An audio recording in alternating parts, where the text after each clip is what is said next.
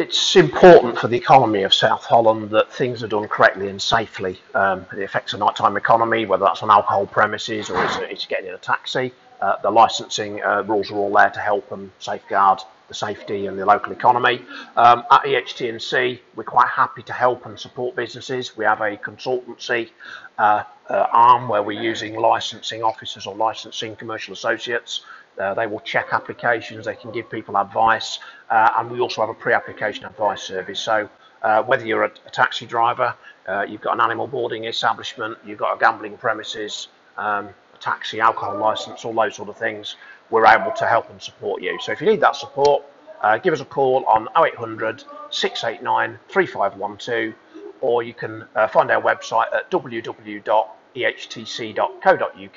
which is Environmental Health Training and Consultancy, and that is a commercial trading arm that the council set up to help and support businesses.